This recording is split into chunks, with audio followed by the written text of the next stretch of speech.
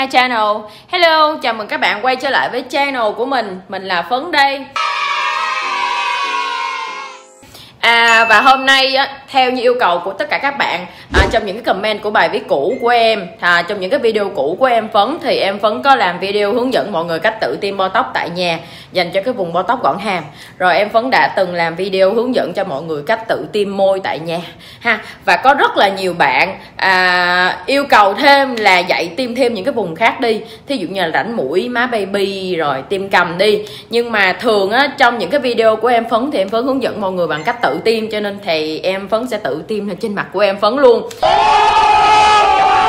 Mà đâu phải cái ngày nào cũng có thể tìm ra cái chỗ mới để tiêm theo như yêu cầu của mấy bạn được đâu. Cho nên hôm nay em phấn cảm thấy là mình hơi bị khuyết điểm nhẹ chỗ này nè. Đó, với lại em phấn hơi bị cái rãnh mũi hơi sâu.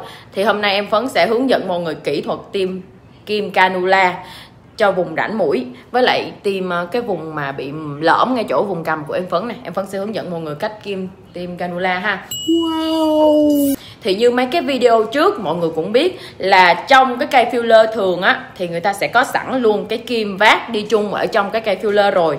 Thế mình chỉ không cần phải mua thêm kim gì hết. Mình mua cây filler về, nó có sẵn kim thì mình tiêm thôi. Nhưng mà hôm nay mình tiêm bằng canula thì cây kim này nó sẽ không có sẵn ở trong cây filler. Thì cây kim này mình phải mua riêng bên ngoài. Và đặc điểm của cây kim canula thì nó sẽ không có nhọn giống như cây kim vát bình thường, mà nó sẽ tròn. Cho nên mình phải có cái kỹ thuật tiêm riêng. Thì hôm nay em Bình sẽ hướng dẫn mọi người tiêm rãnh mũi bằng canula ha. Let's go Y quên nữa. Dành cho những các bạn mà lần đầu tiên xem những cái video của em, trong kênh của em, thì à, các bạn phải hiểu xương xương là filler, là hyaluronic. Thì filler, nó sẽ làm đầy những cái vùng da mà mình mong muốn. Thí dụ như giờ cái môi của mình đang nhỏ siêu siêu đi mình muốn cho nó bự chành bành ra. Thì mình tiêm filler vô nó sẽ nở bự ra. Khi mà nó làm đầy á, nó sẽ làm cho cái môi của mình dày to hơn.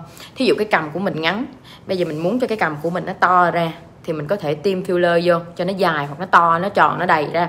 Thì filler nó sẽ làm đầy những cái vùng da mà mình mong muốn. Ha, mình có thể tiêm được rãnh mũi nè, tiêm môi nè, tiêm cằm đó, rồi tiêm má baby cho nó phính phính ra cho cái mặt mình trẻ hoặc là tiêm thái dương. Đó, mình có thể tiêm được rất là nhiều vùng ở trên mặt của mình.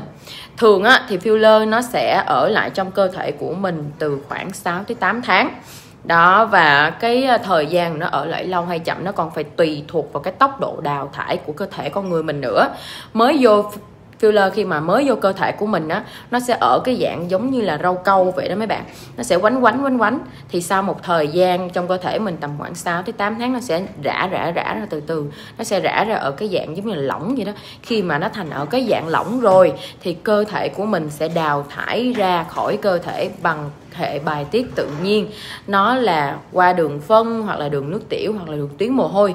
Giống như là um, lâu lâu á mấy bạn mà mệt mấy bạn đi bệnh viện mấy bạn truyền nước biển nè hoặc là mấy bạn được chích thuốc á, thì người ta chích thuốc vào thì cơ thể của mình cũng sẽ đào thải ra bằng đường tự nhiên đó là đường phân đường nước tiểu hoặc tuyến mồ hôi.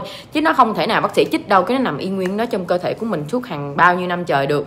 Thì filler một khi mà nó đã tan ra thì mình cũng sẽ đào thải ra bằng đường tự nhiên. Cho nên nếu như mà các bạn tiêm filler chuẩn gọi là hyaluronic HA chuẩn, thì nó sẽ tan hết ra khỏi cơ thể của mình rất là tự nhiên.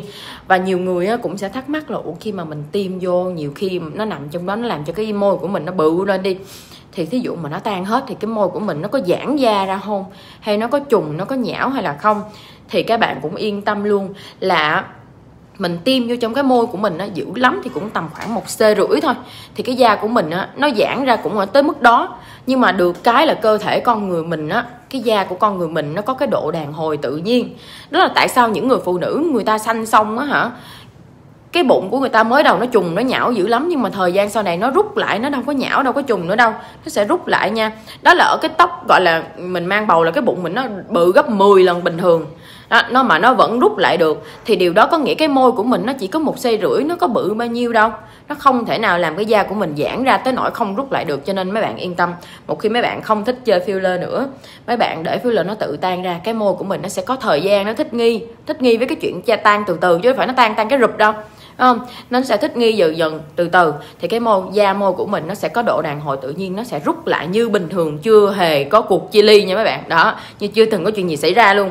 Cho nên những bạn nào mà trước khi mấy bạn muốn chơi filler thì mấy bạn cứ yên tâm luôn là khi mấy bạn không thích chơi nữa, môi hoặc là cái vùng mà các bạn tiêm, nó cũng sẽ vẫn rút lại như bình thường. Cho nên cho mấy bạn yên tâm ha. Rồi, thì bây giờ em Bình sẽ hướng dẫn trước khi mà mọi người cần tiêm coi như là rãnh mũi, ha với lại hoặc là tiêm cái chỗ nào mà mình cần tiêm á trước khi mà mình tiêm thì mình sẽ phải chuẩn bị những cái thứ gì? Rồi đây là những cái thứ các bạn phải chuẩn bị khi mà các bạn muốn tiêm filler đây. Đây là cái dòng filler ngày hôm nay bên nhà em em Bình sẽ tiêm lên trên mặt của em Bình đây là filler à, uh, Etine đó em Bình hay kêu là Etine thường có những cái hộp filler của Hàn Quốc mà cái dòng xịn đó ha thì nó sẽ đi 2 cc chung với một hộp như vậy đó cái này nó quýt locadin có nghĩa là ở trong này nó có cái thuốc tê nó pha chung lộn chung ở trong cái filler luôn. Thì khi mà mình tiêm á mình ủ tê bên ngoài rồi đó nhưng mà cái thuốc nó vô mọi người vẫn thấy nó đau. Thì nó có pha lộn thuốc tê chung với lại cái cây filler luôn á thì khi nó thuốc nó vô mình không có thấy nó buốt nhiều. Ha thì khi mà cái thuốc nó, nó mình đẩy cái filler vô trong mặt mình đó mình không có cảm nhận là nó vô. Là tại vì nó có thuốc tê nó làm cho mình đỡ đau hơn. Thì trong một hộp nó sẽ có gồm đi là hai cây filler vậy thì một cây như vậy á, là một cc nha mọi người. Đó một cây là một cc thì à, khi mình tiêm filler thì tất nhiên mình phải chuẩn bị filler mình mới tiêm được chứ. Ở trong đây nó đi với cái tờ giấy bảo hành với hướng dẫn sử dụng này kia của nó ha. Đây. Hộp này bên nhà em bên ờ, em bên ờ, có bán nha mấy mọi người. Đó em bên có bán. Rồi. Để đây. Thì hôm nay em tiêm lãnh mũi với lại cái phần trũng ở phía dưới tí xíu. Thì á, cái filler này á thường cái filler nào nó cũng sẽ đi gọi là ba số. Một là cái số mềm nhất hai là cái số cứng nhất ba nữa là cái số medium để cho mình tiêm từ vùng khác nhau. Thì em Binh muốn tiêm rãnh mũi cho nên em Binh sẽ tiêm cái số mềm nhất. Cái số mềm nhất nó màu cam ha màu cam ha mọi người đó thì uh, em sẽ tiêm cái mềm nhất. Khi mà mình muốn tiêm môi á, mình cũng có thể tiêm cái medium hoặc là tiêm cái mềm nhất. Còn khi mà mình tiêm cầm thì mình phải tiêm cái cứng nhất thì cái dòng filler nào cũng vậy, nó cũng sẽ sản xuất ra ba cái ờ, số khác nhau ha, ba cái màu khác nhau để mà tiêm tùy vùng khác nhau. Và tiếp theo là mình phải chuẩn bị tới bao tay. Đây là cái bao tay để khi mà mình mình mang vào cho nó vệ sinh, để mình mình tiêm cho nó sạch sẽ tiếp theo là mình chuẩn bị cái bông nước muối. Bông này là em đã thấm nước muối sẵn rồi. Nước muối sinh lý. Nếu mà các bạn coi lại trong cái mấy cái video cũ của em á, thì em sẽ chỉ cho mọi người là mấy cái nước muối sinh lý này. Mấy anh mấy chị cứ mua thẳng ở ngoài tiệm thuốc tây rất là đơn giản. Cái bông tiếp theo đó là cái bông này là có bovidin thuốc đỏ đó. Dân gian người ta hay gọi là thuốc đỏ. Thì mình thấm sẵn cái thuốc đỏ trong đây rồi để mình vệ sinh mình sát trùng lại cái vùng mà mình cần tiêm. Ha thứ ba là cái bông khô để mình máu mà nhiều khi nó rỉ ra đó mình lao bằng cái bông nước muối hoặc là bovidin á, nó sẽ làm cho cái ờ, chỗ mà rỉ máu nó còn rỉ máu nhiều hơn. Mình thấm lại bằng cái bông khô thì nó sẽ đỡ, nó sẽ đỡ ờ, bị rỉ máu. Rồi, tiếp theo nữa, đây là cây kim canula nè mọi người. Ha, mọi người thấy kim canula nó sẽ đi chung một bộ. Có nghĩa là một cây kim nhỏ, cây kim nhỏ này nó sẽ là cái cây kim bự hơn. Đó, mọi người thấy nó nhọn quắc à thì cái cây kim này sẽ là cái cây kim gọi là mồi dẫn đường cho cây kim canula nó vô ha. Tại vì như em cũng nói á cây kim cây kim canula là cây kim mà nó không có nhọn. Mọi người nhìn đây. Cái đầu nó tù tù nó tròn quay vậy nó không có nhọn. Đó. Thì vì nó không nhọn cho nên nó sẽ không có sọc vào trong những cái mạch máu quan trọng ở trong người của mình. Ở trong người của mình được nó sẽ không có sọc vào những cái mạch máu quan trọng ha. Thì á à, cho nên nó không có nhọn cho nên mình phải có một cái gọi là một cái cây kim mồi để mà mình mở đường cho nó vào. Ha. Đây là cái kim canula ha mọi người ha.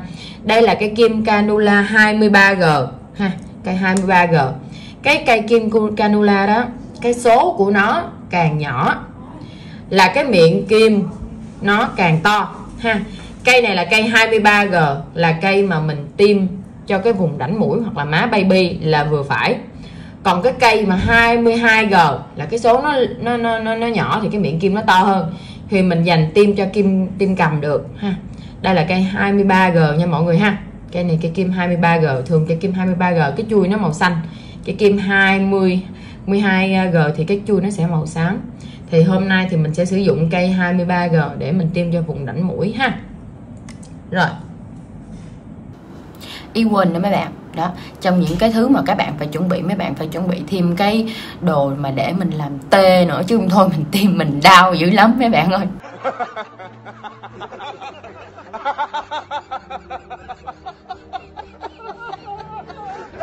Đó dù gì chiếc kim chích vô da mà không? Nếu như mà các bạn nào có theo dõi mình á ha thì những cái video trước có mình hay là nói mấy bạn á, là sử dụng cái kem bôi tê thì hôm nay mình sẽ giới thiệu với các bạn một cái loại làm tê khác nữa đó là cái dạng xịt là cái tê dạng xịt.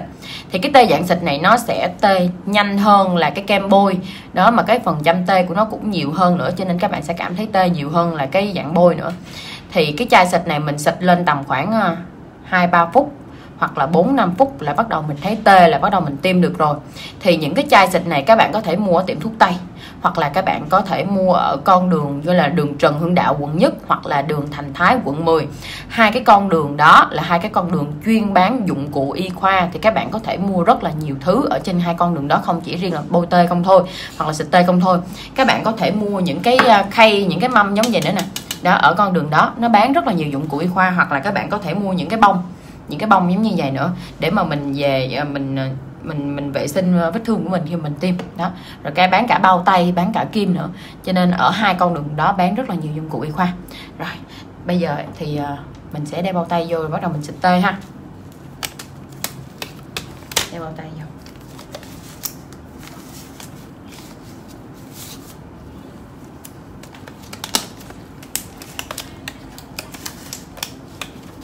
Rồi, xịt lên trên cái vùng mà mình cần tiêm để tránh nó bị vô mắt nha. Cái này nó hơi văng nhiều á. Ừ. nó hơi văng nhiều cho nên nhắm mắt lại. Nhắm mắt nín thở tại cái mùi nó cũng hơi nồng á mọi người.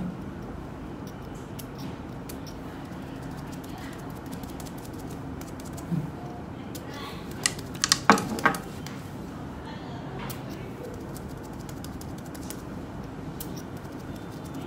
Đây, mình sẽ tiêm cái vùng rãnh mũi, nên mình sẽ xịt tê hai vùng rãnh mũi dưới chỗ này.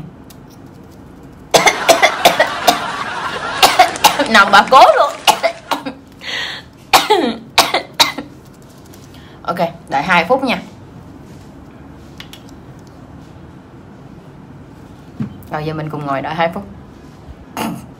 Few moments later. rồi giờ mình sẽ tới công đoạn là mình sẽ sát khuẩn không, cái vùng mà mình cần tiêm. Mình sẽ lấy một cái gương nha để nhìn nó dễ hơn tại cũng bị cận hơi nặng bây giờ em sẽ sát khuẩn. Đây là cái bông bovidin nè. Đó, đây là cái bông gọi là có thuốc đỏ. Trong đây rồi mình sẽ vệ sinh. Ừ. vệ sinh cái vùng mình cần tiêm. Hoàng xí tém tóc của lên nè. Đúng ừ rồi. Rồi.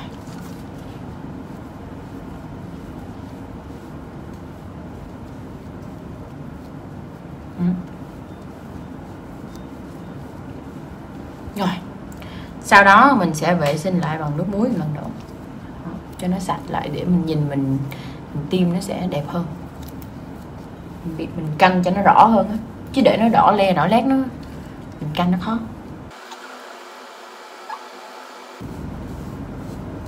Rồi bây giờ thì công đoạn sát khuẩn đã xong mà mình sẽ um, xác định cái vùng mình cần tiêm. Thì em Minh sẽ tiêm cái vùng rãnh mũi ha. Thì cho nên em Binh sẽ lấy một cái lỗ. Rãnh mũi của em Binh từ đây tới đây em muốn đầy từ đây tới đây. Cho nên em sẽ lấy một cái lỗ ngay chỗ vị trí này để cho cái kim canula nó đi vào. Từ đây tới đây em làm đầy khu vực khúc này thôi. Ha và em cũng muốn hơi lan lan nhẹ lên trên cái vùng má trên này nữa. Đó để cho cái má của em nó hơi đầy khúc trên này, trên này tí xíu. Cho nên em sẽ lấy một cái lỗ từ đây thì em quay kim qua đây rồi em quay kim qua đây luôn không cần phải lấy lỗ nhiều trên mặt.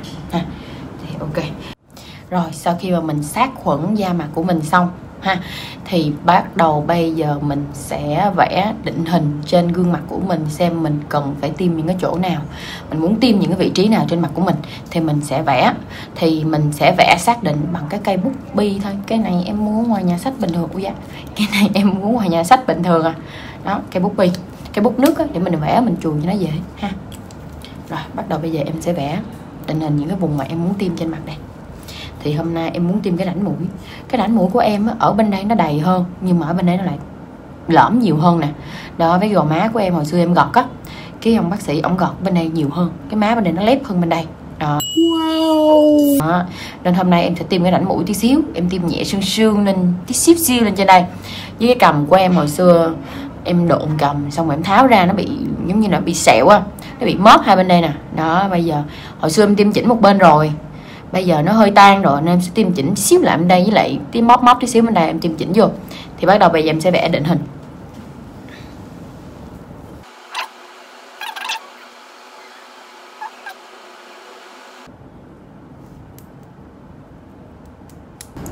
Rồi, em sẽ tiêm lên trên cái gò má em tí xíu nào đảnh mũi tí xíu nào vùng này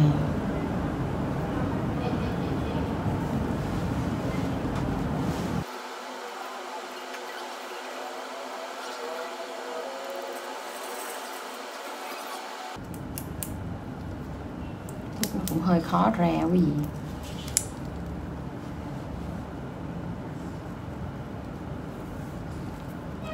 sao mà còn vẽ mặt mèo?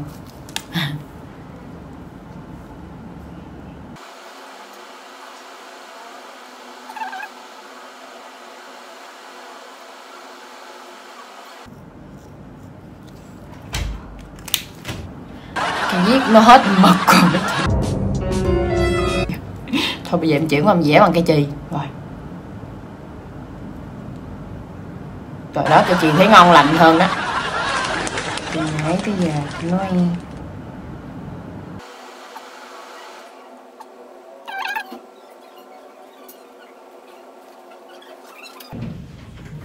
Đó, đây sẽ là những cái vị trí mà em phải tìm.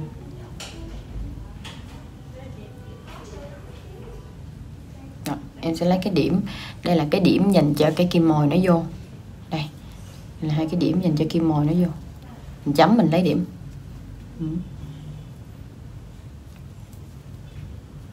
giống con mèo chưa? Chấm bên điểm bên đây sao thì bên kia mình lấy điểm giống vậy.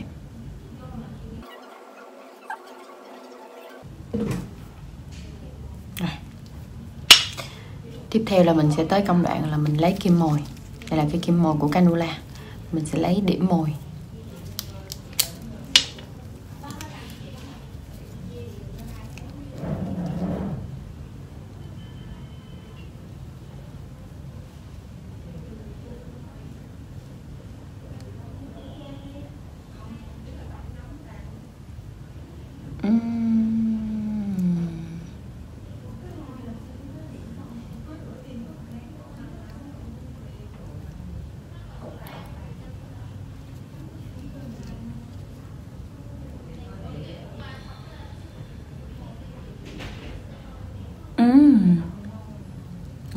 Lúng.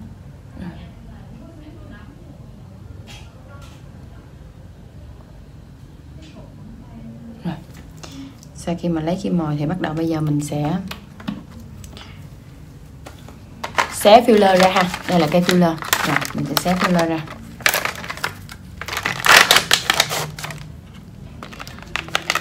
Đây. Thì bắt đầu bây giờ mình sẽ dặn cái kim canula vô.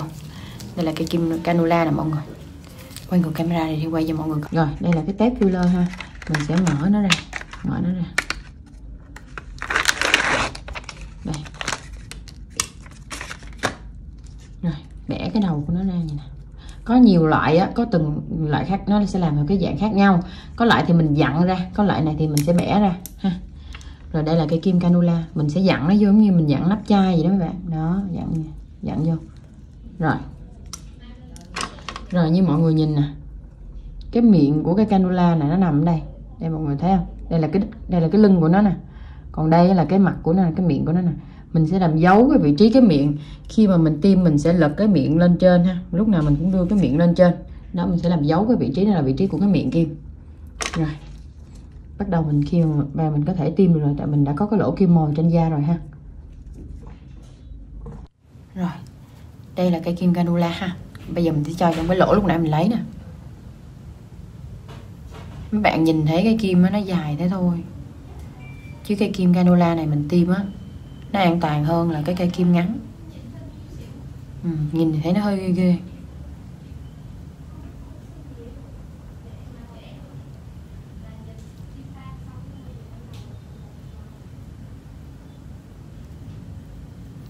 Khi mà nó vô nó cũng sẽ hơi khó vô hơn cái kia, tại cái cái đầu của nó tròn á. Cho nên mình tiêm từ từ, không sao, không vội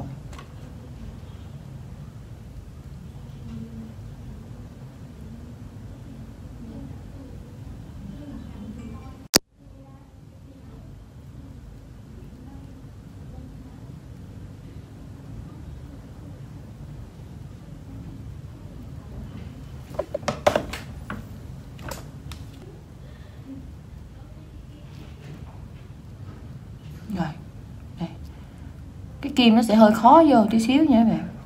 Bình thường, tại vì cây ờ, này nó không có, nó không có nhọn mà, nó tròn. Cho nên nó phải tìm cái đường nào để nó xé thịt của mình nó vô thôi. À. Đó. nên ờ, nó sẽ hơi khó vô hơn là những cái ờ, cái kim nhỏ bình thường. Rồi, bây giờ mình đã thấy cái kim nó tới đây nè. Mọi người thấy rờ vô là mùi sẽ biết là cái kim nó tới đâu. Mình biết cái kim nó tới đây rồi bắt đầu mình tiêm vô từ từ. Ừ. tiêm không thấy đâu mọi người. Filler vô không thấy đâu tại vì trong cây filler này người ta có pha thuốc tê sẵn á. Không thấy đâu không biết filler nó vô luôn á. Mình không biết là filler nó vô tại vì ở trong đây nó có thuốc tê nó làm mình tê mình không biết. Để soi xem thử Đây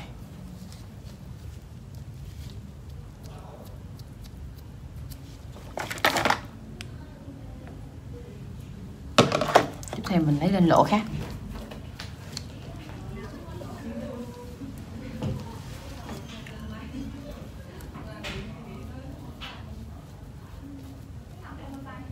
Mình tiêm trong cái đường này này nè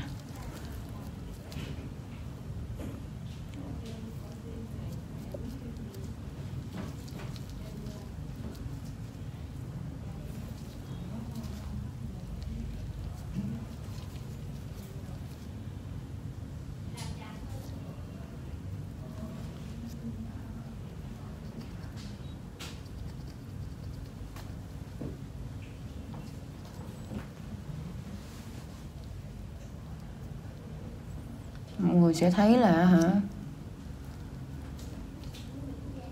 Em bên tim á, rất là nhẹ nhàng luôn. Tại vì không có thấy đau nhiều. Kim á, mình chỉ đau cái lúc bên ngoài khi mà hả, mình à,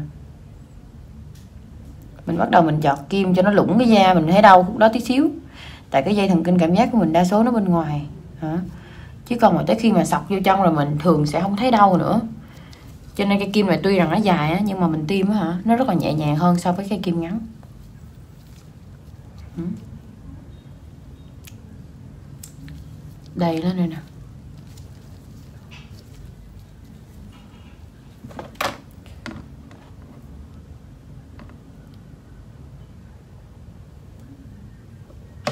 Ok. Rồi, bây giờ em sẽ tiêm lên trên cái vùng má tí xíu cái filler này nó có thuốc tê bên trong của mọi người. Cho nên tiêm á, không có biết cái filler nó vô luôn á. Không có cảm giác là filler nó đang chạy vô trong người mình.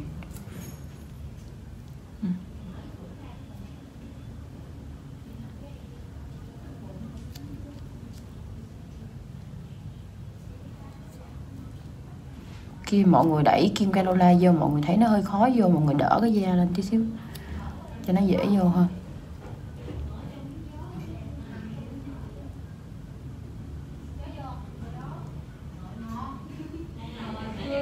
Ừ. Rồi, giờ em đổi qua bên đây.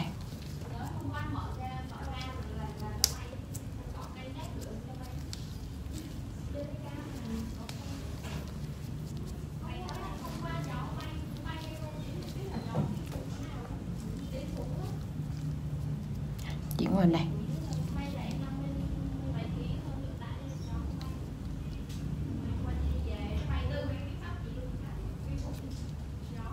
Đỡ cho cái da của mình nó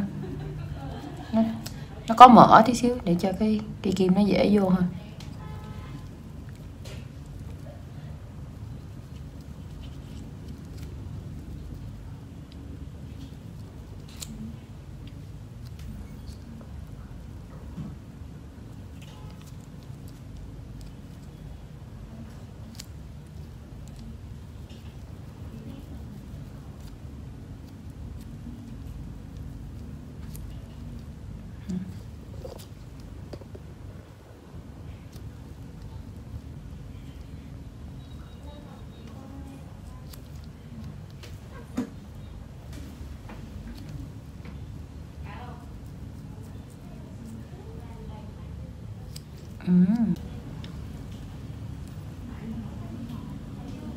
Bây giờ em luồn cái kim tới đây nè. Mọi người nhìn thấy em luồn cái đầu kim em, em nghích cái đầu kim mọi người nhìn thấy không?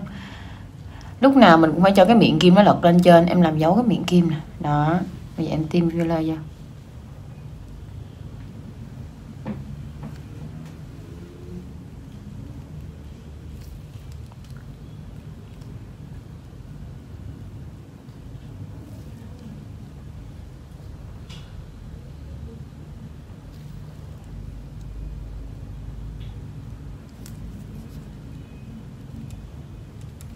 Cái filler này nó có cái thuốc tê trong đây bởi vì nó làm cho cái mặt của mình hơi tê tê, dại dại luôn á. Không có thấy cảm giác đau gì hết trơn, mọi người. Mọi người thấy em bên sọc gì hết sợ chưa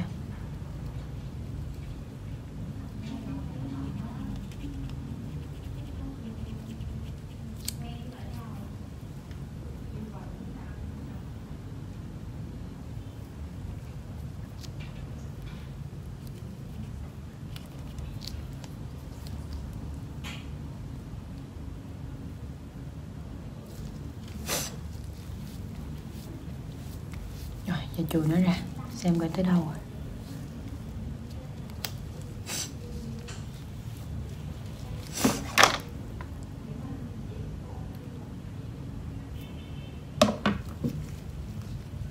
Rồi, bây giờ mình sẽ tìm cái vùng móp ở dưới đây.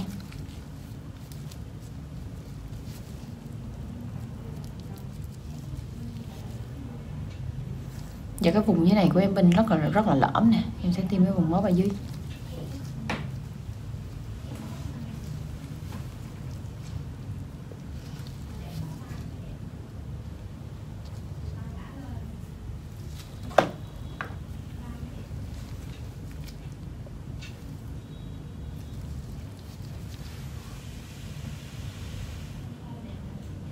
Mình lấy cái lỗ này luôn mà mình đừng có lấy nhiều lỗ trên mặt của mình mới không mình bị đau á. Các bạn mình lấy một lỗ thôi mình tiêm vòng vòng mình có thể quay vòng vòng được mà. Nè, mình cứ bóp da lên rồi mình mình cho cái đường kim mình vô thôi.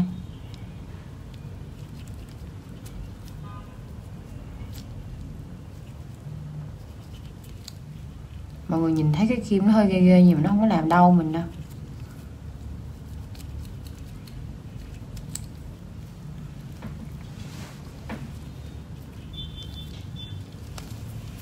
Này.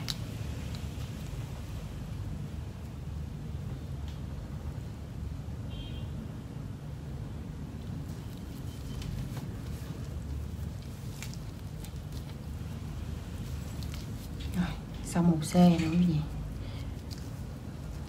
Giống con mèo quá.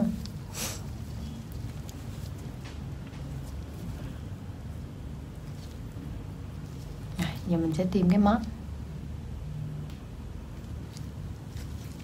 tìm phần móp mặt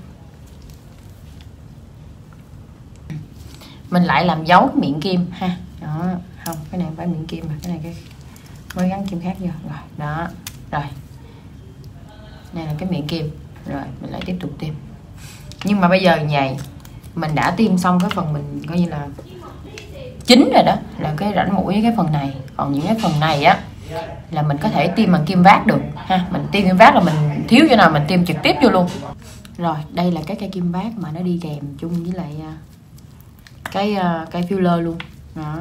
Thì bây giờ hiện tại là em đang bị lõm cái phần bên dưới nữa nè. Em đang muốn tiêm coi như là cái chỗ này nó đang móp vô, thì mình tiêm trực tiếp vô luôn. Mình không cần phải tiêm canula canula cho mình tiêm diện rộng, còn giờ mình tiêm trực tiếp vô luôn. Tiêm kim này nó nhỏ nhưng mà nó đeo lắm mấy chị ơi. Rồi, tiêm trực tiếp vô.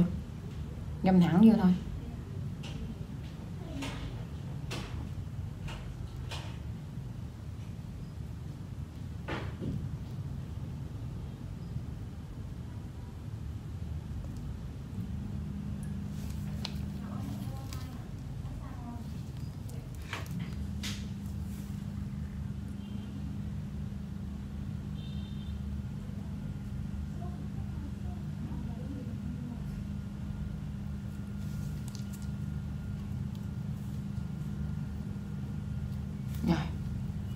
chùi ra xem thử.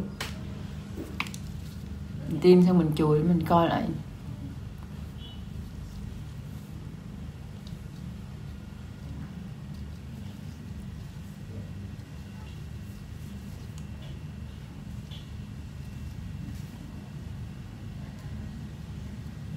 Díu trên đây tí xíu nữa này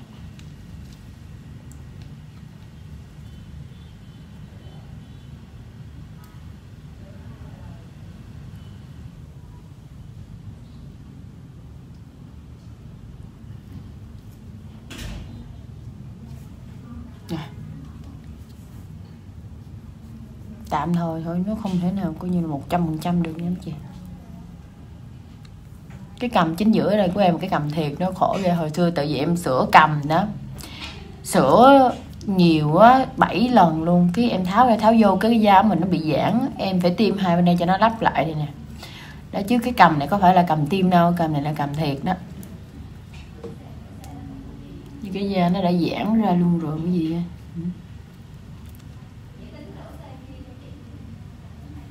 rồi thì tiêm lắp vị trí này. Lật miệng kim nó lên trên này. Kim này mình cũng vậy. Luôn luôn tiêm là mình phải lật cái miệng kim lên trên. À, cái miệng kim của kim này nó cũng giống canula cái miệng nó khác. Mình lật cái miệng kim lên trên. Đó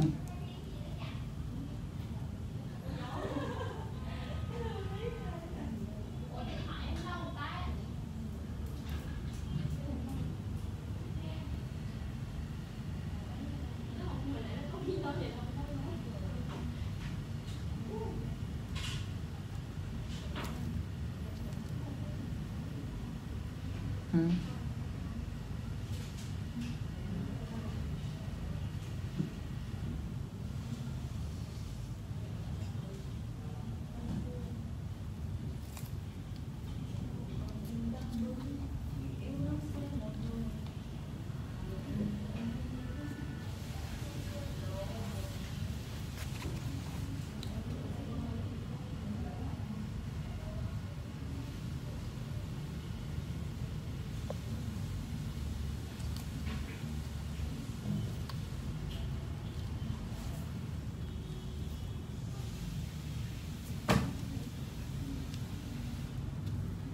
rồi phần trên đây.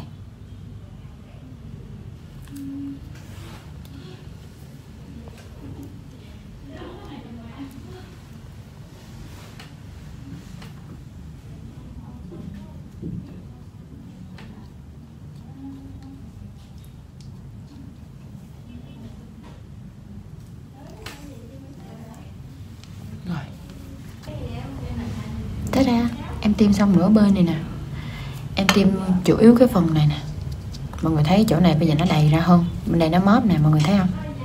Bên đây móp rất là nhiều. Thì em tiêm chủ yếu cái vùng dưới này nè, để cho nhìn mặt của mình nó đỡ móp cái mặt của em là cơ bản nó bị móp cái hàm nó bị giật vô trong á. Tiêm vậy thì nhìn nó sẽ đỡ hơn. Ừ. Rồi em tiếp tục bên đây nha. Rồi hồi lúc nãy em tiêm cái rãnh mũi bên đây thì em tiêm bằng canula nhưng mà ở cái rãnh mũi bên đây của em nó không có trũng nhiều, nên em chỉ cần tiêm một bên thôi là được rồi. Bên đây em chỉ tiêm cái vùng dưới đây thôi, ha. Cho nên em chỉ, sẽ tiêm bằng kim vát bình thường. Không cần thiết phải tiêm bằng à, bằng canula rồi, lúc nào mình tiêm mình cũng sẽ lật cái miệng kim ra ngoài. Em cho mọi người, nhìn miệng kim nè. Đó đúng không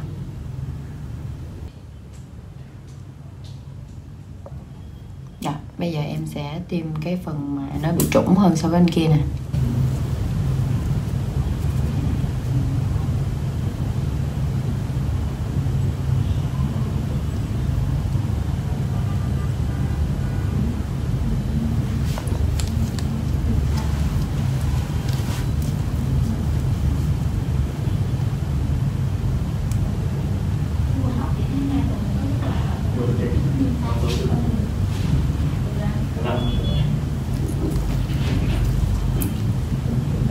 cái này vệ sinh gái nữa lạnh nữa Vệ sinh trọ nè. này ra vệ sinh gòn là những gì đó hả giờ thấy lạnh chưa thì vệ sinh này lại cái rồi trăm ra ngoài là ok ha.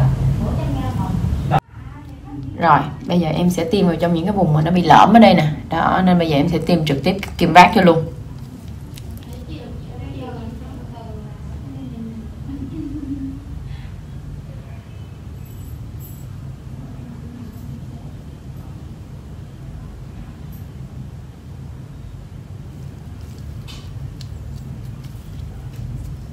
Ừ.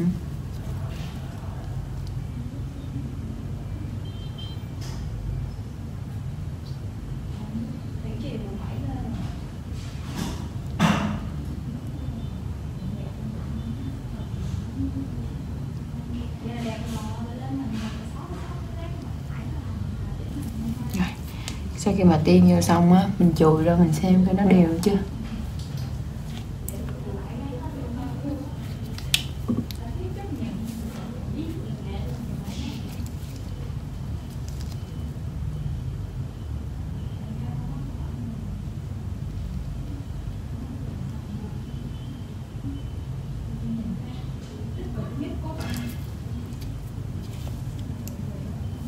Rồi.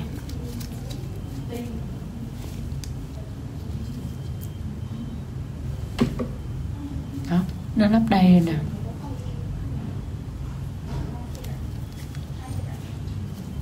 để tí xíu nữa.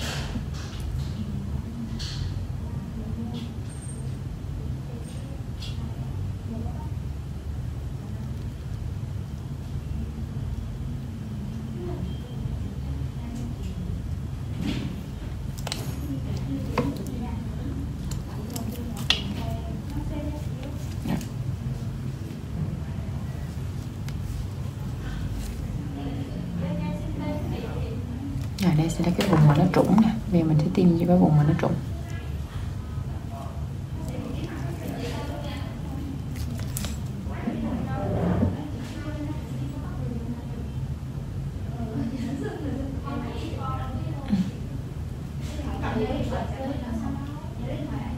Lúc nào mình tiêm mình cũng ngất mũi kim lên nha mọi người.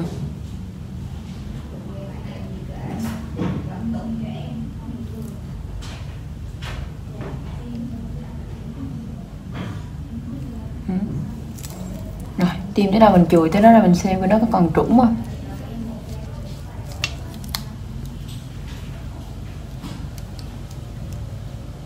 Vẫn trũng tí xíu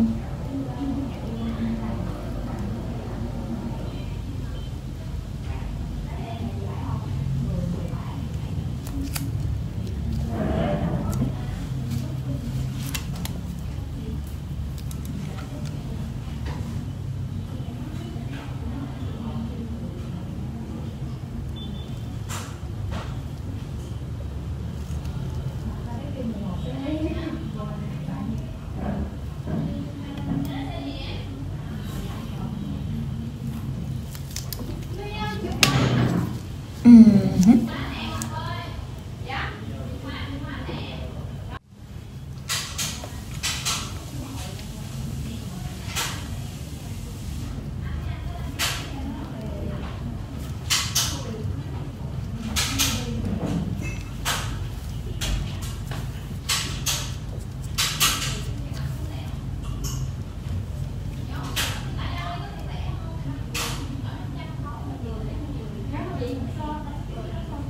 Ừ. Rồi bây giờ em sẽ chùi ra. Bắt đầu bây giờ mình soi gương mình coi coi mình còn tiêm nhầm chỗ nào.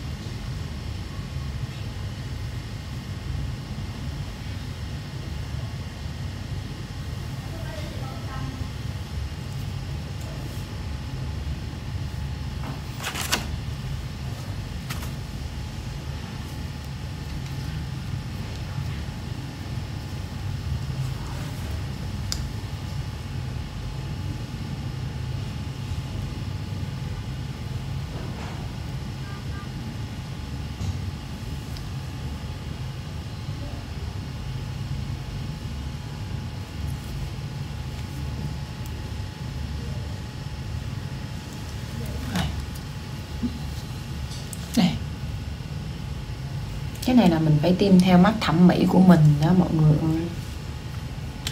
Mà mình phải tiêm cái dòng filler mềm nhất nữa.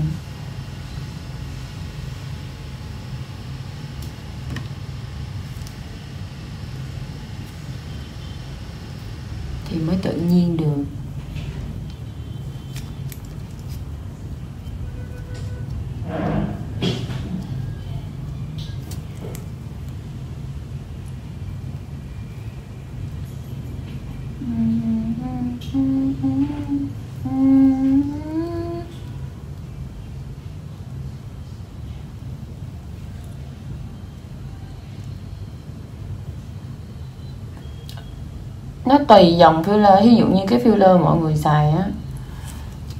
Là cái filler mà nó có thuốc, gọi là thuốc tê pha bên trong, giống như cái của em bên xài thì mọi người tiêm sẽ không có thấy đau.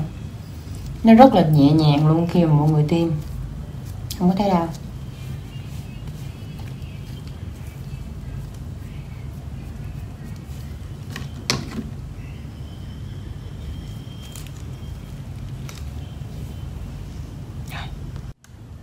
rồi trên hai cái gò má em thấy vậy được rồi đó. Bắt đầu giờ em sẽ xuống cái vùng dưới đây.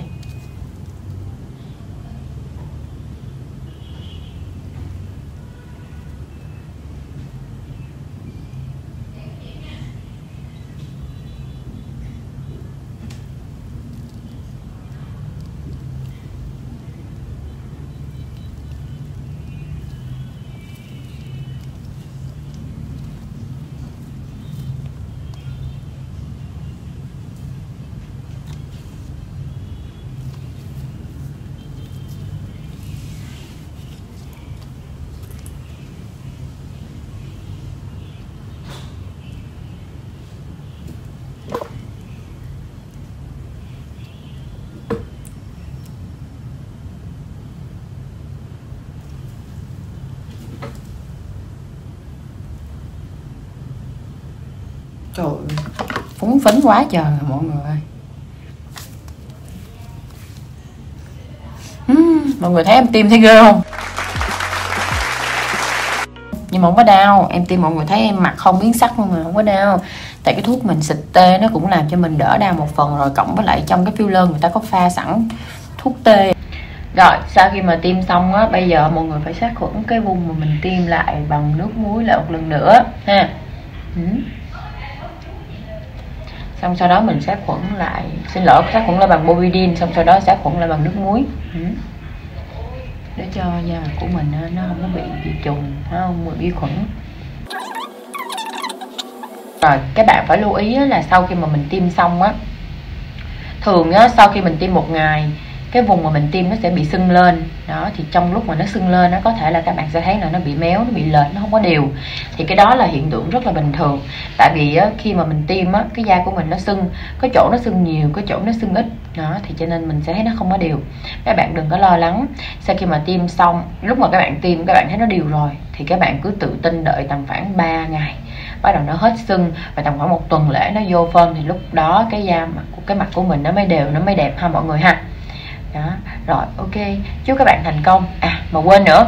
Nếu như mà các bạn có thử tự tiêm tại nhà, thì ờ, Binh xin nhắc lại là đây là những cái kiến thức cá nhân của Binh Binh hướng dẫn cho mọi người. Thì khi mà mọi người tự tiêm tại nhà, nếu như mà có xảy ra những cái vấn đề gì liên quan tới vấn đề sức khỏe của mọi người hoặc này kia thì ờ, uh, Binh sẽ hoàn toàn không chịu trách nhiệm. Đây chỉ là những cái kiến thức cá nhân của Binh mà thôi ha. Và khi mà các bạn tiêm á các bạn uh, nhớ để lại phản hồi cho Binh nha. Đó thì để binh biết được à, các bạn tiêm có đẹp hay là không để giống như là tụi mình cùng tạo một cái group để mà tụi mình bàn về vấn đề liên quan làm đẹp của chị em phụ nữ. Chúc các bạn thành công nha. Bye bye quên mất dặn mọi người cái này nữa. Vì ở trong cái cây filler nó có thuốc tê pha sẵn ở trong đó. Cho nên cái vùng mà khi mà mình tiêm vô á khi mà các bạn mới tiêm xong tầm khoảng vài tiếng đồng hồ á nó sẽ bị đơ. Nhiều khi các bạn cười nó bị méo nữa. Tại vì cái chỗ này nó bị đơ nó bị thuốc tê nó làm cho tê tê cái cái vùng ừ, um, tim nó lại. Cho nên mình cười không có tự nhiên được phải chừng vài tiếng đồng hồ sau hết thuốc tê không? Thì bắt đầu cái cơ chỗ đó của mình nó mới hoạt động lại bình thường được nha mọi người nha. Cho nên mọi người đừng lo lắng gì hết. Rồi, chúc mọi người thành công.